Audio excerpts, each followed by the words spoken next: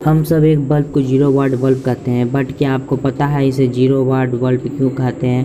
कोई भी electricity equipment थोड़े ही ज़ीरो वाट में काम करेगा। एटलीस्ट वो कुछ पॉइंट तो लेगा ही इलेक्ट्रिसिटी तो आखिर ज़ीरो वाट क्यों कहते हैं?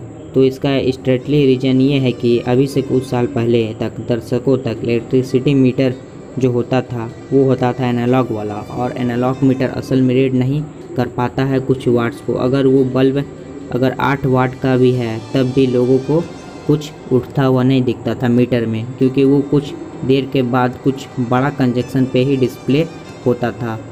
लोगों के मन में यह मिसकंसेप्ट बन गया था कि हमारा तो ज़ीरो वाट उठ रहा है, हमारा तो बिल ही नहीं उठ रहा है। और यहाँ से शुरू हुआ ये ज़ीरो वाट का बल्ब, ये कहना। ये टर्म इंडिया में बहुत ही ज़्यादा पॉपुलर हो गया। हमारे पेरेंट्स भी कभी कभी यूज़ करते हैं और हम भी कभी कभी यूज़ करते हैं कि ज़ीरो वाट का बल्ब ऑन कर दो। वीडियो पसंद आया तो